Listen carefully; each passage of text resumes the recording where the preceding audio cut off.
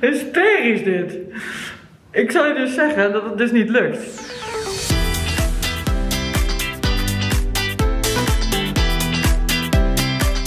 Hoi hoi, leuk dat je weer naar mijn vlog kijkt.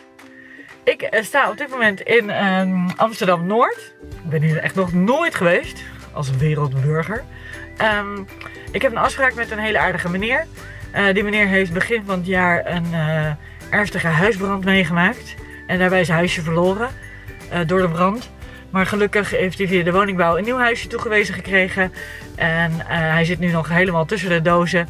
Maar eh, ik ga hem in ieder geval eventjes met hem kletsen. En even met hem, nou ja, hoe goed het met hem is. En daarnaast ehm, even praktisch zijn ramen lappen. Want ik heb begrepen dat dat wel heel erg fijn is om nog een beetje goed naar buiten te kijken. Dus ik heb deze meegenomen. En ik heb natuurlijk een mondkapje bij me. Want eh, nou ja, je moet natuurlijk wel eventjes eh, de maatregelen een beetje in acht nemen. Of een beetje veel. Ehm, nou, ik ga in ieder geval hem niet filmen. Want, eh, vanwege de privacy. Maar ik ga in ieder geval even meenemen tot aan de deur. Yes! Dan ga ik dus voor de eerste keer dat mondkapje zo meteen dragen. En eh, ik heb hem al in mijn hand. Hebben jullie al een mondkapje op gehad?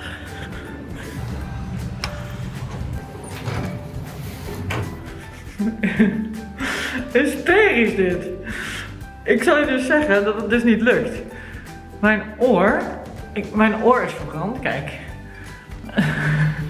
en ik heb geen, hij flapt niet.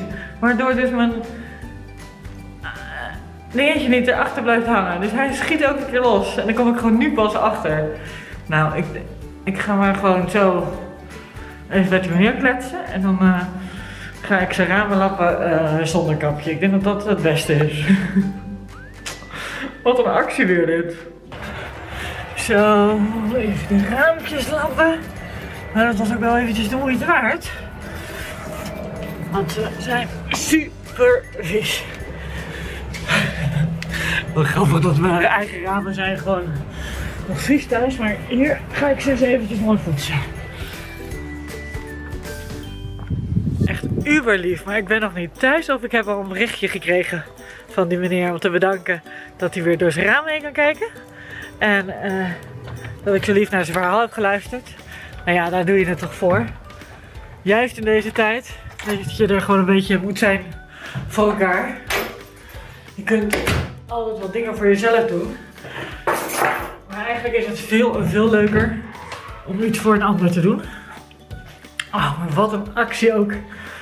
Met eh, een handkapje. Echt bizar. Dat ik er gewoon nooit, gewoon niet bij stil heb gestaan dat dat ding niet achter mijn oor blijft, kan blijven hangen. Omdat ik gewoon geen oorschelpje heb. Nou ja. Eh, dankjewel voor het kijken naar deze vlog. En eh, tot de volgende keer. Doei doei.